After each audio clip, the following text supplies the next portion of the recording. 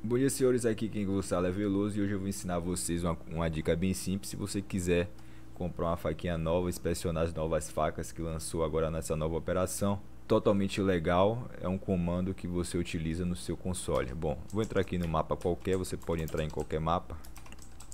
Vou entrar aqui no mapa da Mirage, esperar carregar. Você pode entrar no mapa da, da oficina, qualquer mapa. Pronto, eu tenho aqui no mapa da Mirage. Importante salientar, se você tiver alguma faca é, de skin, você desativa. Desativa ela, coloca a faca padrão do CS. Aí você usa esse comando aqui, ó. Aqui é um comando para aumentar o FPS. Aí você bot kick para tirar o kick, para tirar os bots todos. Aí você coloca save cheats 1. O outro comando é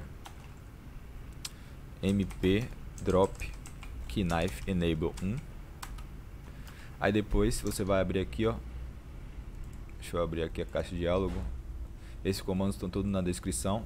Faca 1 você copia vai no console e cola. Ela vai dropar tá vendo? Aí você joga sua faca fora e pega ela. Tá vendo? Aí você vê todos os comandos dela Aí você tem a segunda faca. Segundo comando. Vai dropar. Jogar fora. Olha essa faquinha que legal.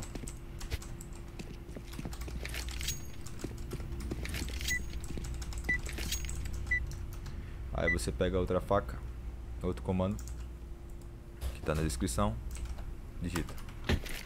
Opa, acabou a partida. Escreve, dropou. Essa é a terceira faca.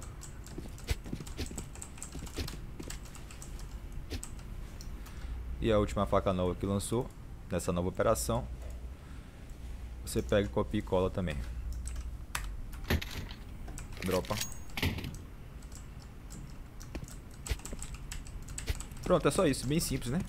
Então, recapitulando, você entra em qualquer mapa, se você tiver com bot, você clica bot, line kick, Aí você clica, próximo comando, serve sheets 1 para ativar é, os comandos no, no, seu servidor offline, é lógico que só serve para offline.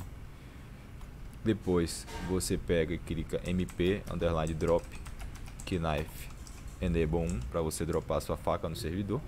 Depois você pega os comandos aí da faca que estão na descrição que ela vai dropar no chão. Aí é só você apertar G, jogar sua faca padrão fora que vai aparecer. Lembrando que só pede, se você tiver alguma skin de alguma faca, você tem que habilitar a faca padrão do jogo para ela poder funcionar. Então é isso, espero que tenha gostado. Se gostar de live, me acompanhe no twitch.tv Veloso e no canal do YouTube também. Um grande abraço.